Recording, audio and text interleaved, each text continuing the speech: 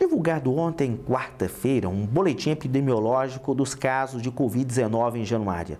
Segundo a Vigilância de Saúde, o município tem um total de 3.527 casos confirmados positivos por meio do teste rápido e PCR, estando 3.425 casos curados e 72 óbitos confirmados para coronavírus. Neste informe, temos seis novos casos confirmados em relação ao feriado prolongado. São cinco mulheres e um homem. Os casos ocorreram nos, bairros, nos seguintes bairros: dois casos no bairro Cerâmica, um caso na Quinta das Mangueiras, outro no bairro Alvorada, um no bairro Joventina Mesquita de Barros e um no centro da cidade.